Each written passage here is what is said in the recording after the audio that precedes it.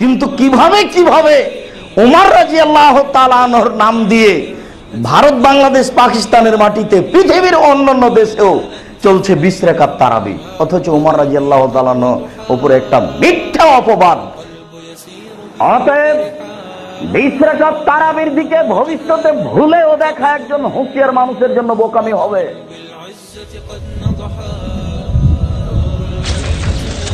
These are dark times.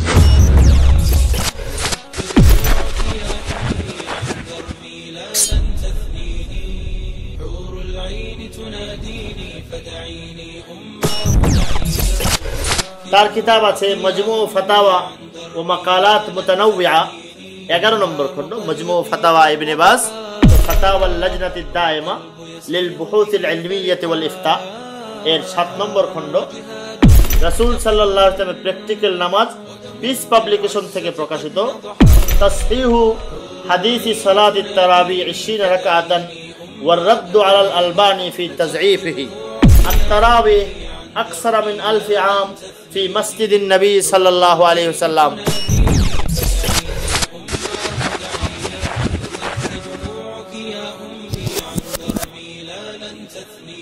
أماه طريقي قد وضحى والقلب يسير به فرحا আমার সামনে আছে আরবের বিখ্যাত আলেম যাকে আমাদের ওই ভাইরা বড় সম্মান করেন, তার জ্ঞান গবেষণাকে মূল্যায়ন করেন। শেখ আব্দুল আজিজ ইবনে আবদুল্লাহ ইবনে আব্দুর রহমান ইবনে বাস, যাকে ইবনু বাস বা বিন বাস বলে বিখ্যাত। তার কিতাব আছে মজমু ও ফাতাওয়া ও মাকালাত মুতানাউয়া এগারো নম্বর খণ্ড। মজমু ও ফাতাওয়া ইবনে বাস, এগারো নম্বর খণ্ড। এই কিতাবে তাকে জিজ্ঞেস করা হয়েছিল তারাবি সম্পর্কে। তারাবি সম্পর্কে এবং জিজ্ঞেস করা হয়েছিল যে বিশ রাকাত তারাবি যখন হয়, তখন যে কেউ আছে, কেউ কেউ আছে, আট রাকাত পরে চলে যায়। তাকে জিজ্ঞেস করে, তিনি বলেছেন, না, ইমামের সাথে থাকবে। ইমাম যখন শেষ করে, তখন শেষ করে যাবে। কারণ হাদিস শরীফে আছে, মান কামা আল ইমাম হাত্তায়ান সারিফা কাতাবাল্লাহুল্লাহ কেয়াম আলাই রাতিন ইমামের সাথে শেষ পর্যন্ত থাকতে হবে। তিনিও তার কিতাবে, এই কিতাবে এখানে বলেছেন ওয়াসালাস ওয়াল ইশরুন, তেইশ রাকাত, অর্থাৎ বিশ তারাবি তিন রাকাত বেতে ফালাহা ওমর রাজি আল্লাহ আনহু ও সাহাবা ওমরও বিশ রাকাত পড়েছেন সাহাবাই কেরামও বিশ রাকাত পড়েছেন। ইবনে বাস বলছেন, ফালাইসা ফিহা নাকসুন, এতে কোনো ত্রুটি কমতি নেই। ওয়ালাইসা ফিহা ইখলাল, বাল হিয়া মিনাস সুনান, সুনানিল খোলাফায়ের রাশিদিন। এটাতে কোনো কমতি নাই, এটাতে কোনো ত্রুটি নাই, বরং এটা সুন্নত, বরং এটা সুন্নতে খোলাফায় রাশিদিন। বলছেন, ইবনে বাস তিনি কোনো হানাফি আলেম নন, তিনি কোনো সাফেই হাম্বলি, মালিকি আলেম নন।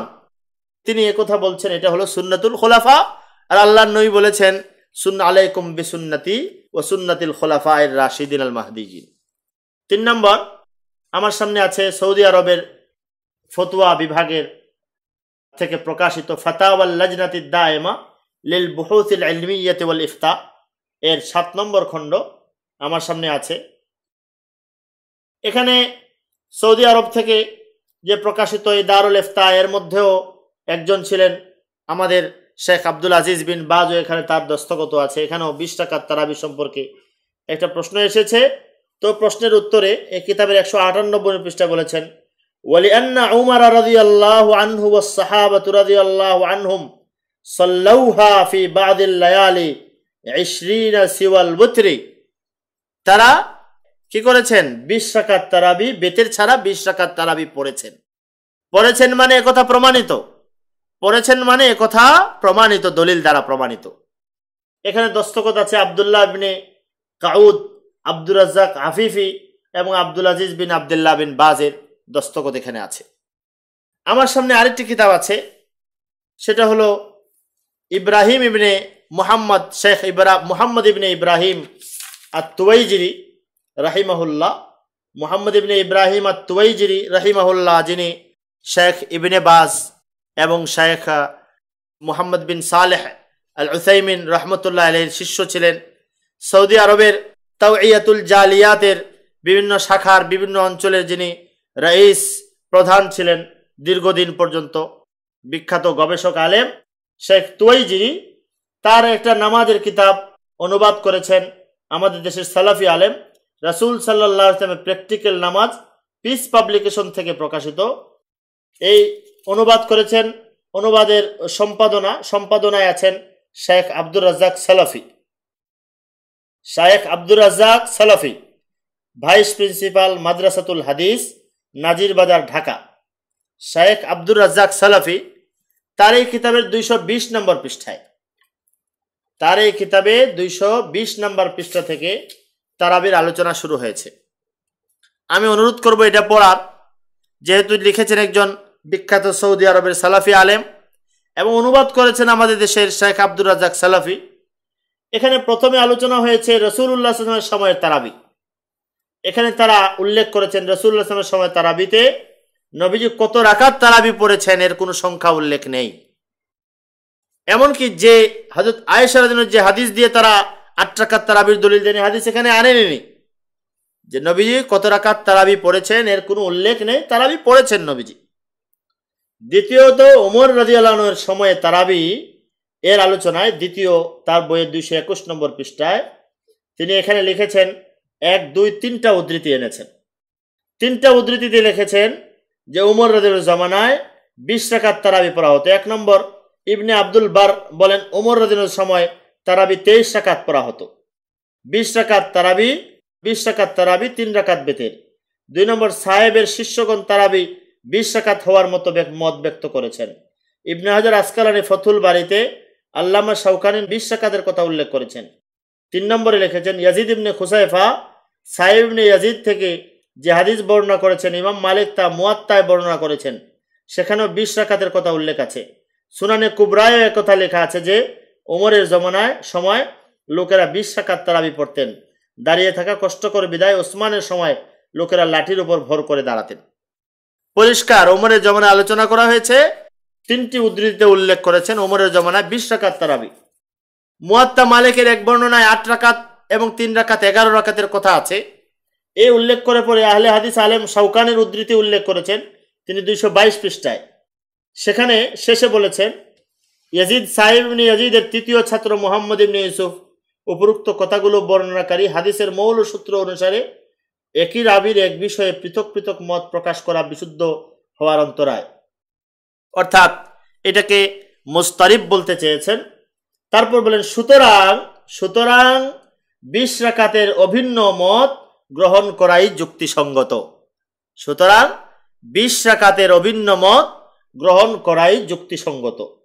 এরপরে আহ, আরও বিস্তারিত আলোচনা করেছেন গেল।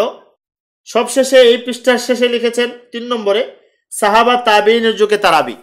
প্রথমে রসুল্লাহর যুগের তারাবির সংখ্যা নেই দ্বিতীয় ওমরের যুগের তারাবির আলোচনা শেষে বলেছেন বিশ অভিন্ন মত গ্রহণ করাই যুক্তিসঙ্গত।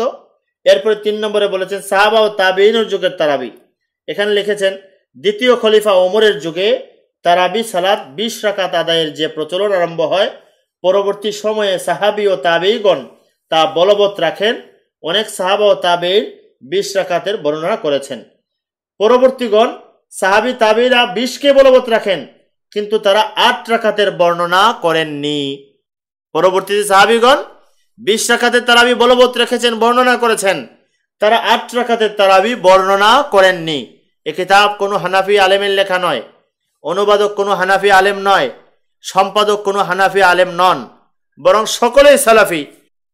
এরপরে পুনরায় বিশ বিষয়ে আরও লম্বাচূড়া আলোচনা করেছেন, যা আমি আগে যে কথাটা বলেছিলাম হজরত ওমর আব্দুল খত্তাব রাজিয়াল্লাহর জামানায় বিশ রাকাত তারাবি পড়া হয়েছে। এই তারাবিকে কোনো বিজ্ঞজন, কোনো বিজ্ঞ আলেম এই তারাবি বিশ রাকাত তারাবির বিষয়ে কখনো অস্বীকার করেননি। এটাকে সত্য প্রমাণিত সহি মেনেছেন। আমি উদাহরণ দিয়েছি ইবনে তাইমিয়ার বিনবাস এবং ফতাওয়াল লাজনাতি দায়েমার এবং সবশেষে শেখ তুয়াইজিরির। দুইজন আলেম, প্রসিদ্ধ আলেমদের মধ্যে একজন হলেন আব্দুর রহমান মুবারকপুরি, যিনি সুনানে তিরমিজির ব্যাখ্যা করেছেন তোহফাতুল আহওয়াজি নামে। তিনি এই বিশ্বাকাতের এই বর্ণনাকে বর্ণনাকে দুর্বল আখ্যায়িত করতে চেষ্টা করেছেন। আরেকজন হলেন শেখ নাসির উদ্দিন আলবানী রহমতুল্লাহ আলহি তিনিও চেষ্টা করেছেন। তো শেখ মুবারকপুরি এই চেষ্টা করতে গিয়ে ইনি যে কত অপরিপক্কতা, হাদিস শাস্ত্রে কত অপরিপক্কতা, কত দুর্বলতা তার মাঝে ছিল, এর সবটুকুর প্রমাণ তিনি এখানে দিয়েছেন। যা প্রমাণ করার জন্য সময়ের প্রয়োজন যে তিনি বড় বড় ইমাম, হাদিসের বড় বড় ইমাম বর্ণনাকারী যার আলোচনা সামনে আসবে একজনের। বড় ইমামকে তিনি বলে দিয়েছেন মজহুল, অপরিচিত। তাকে কেউ চিনে না, উনি চিনতে পারেননি। তো এটা তার অপরিপক্কতার দলিল। দ্বিতীয়, শেখ নাসির উদ্দিন আলবানী রহমতুল্লাহ যখন বিশ্বাকাত তারাবির, ওমরের জমানায় বিশ্বাকাত তারাবি অস্বীকার করলেন, তখন সৌদি আরবের সালাফি আলেমদের মধ্যে অনেকেই তার বিরুদ্ধে কলম ধরেছেন বড় বড় মহাক্কিক গবেষক আলেমদের মধ্যে, এর মধ্যে একটা কিতাব আমার সামনে এখানে আছে। সৌদি আরবের দারুল ইফতার একজন গবেষক ইসমাইল ইবনে মোহাম্মদ আল আনসারি রহমতুল্লাহ আলহি তিনি একটি কিতাবে লিখেছেন, তসহিহু হাদিসি সালাত তারাবি ইশিন রাকাতান ওয়ারদ্দ আলাল আলবানি ফি তাজঈফিহি। আলবানি রহমতুল্লাহ হাদিসকে জয়ীব বলতে গিয়ে কত মূলনীতির, কত লঙ্ঘন করেছেন কত দুর্বলতার পরিচয় দিয়েছেন? এটা এই সালাফি আলেম শেখ ইসমাইল ইবনে মোহাম্মদ আল আনসারি তার এই কিতাবে তুলে ধরেছেন। যারা আগ্রহী, যারা জানতে আগ্রহী, তারা এই কিতাব পাঠ করে দেখবেন। তসহিহু হাদিসি সালাত তারাবি ইশরিন রাকা আতান এবং এই কিতাব অনুবাদ হচ্ছে ইনশাল্লাহ শীঘ্রই এর অনুবাদও আপনাদের কাছে পৌঁছে যাবে। তো মোট কথা, এই বিশ রাকাত তারাবির এই বিষয়টি অস্বীকার করার আর কোনো সুযোগ থাকে না।